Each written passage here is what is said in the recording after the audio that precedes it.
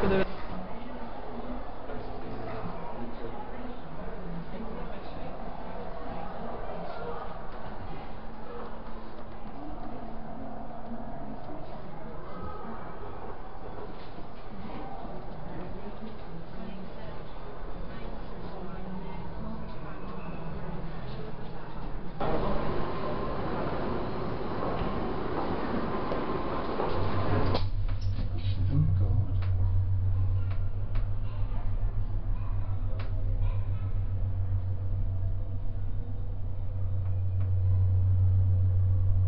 think it's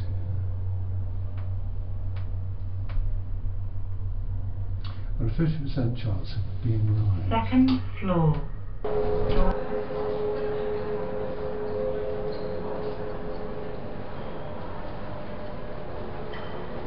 Reveal their intricate behaviours and patterns to us all.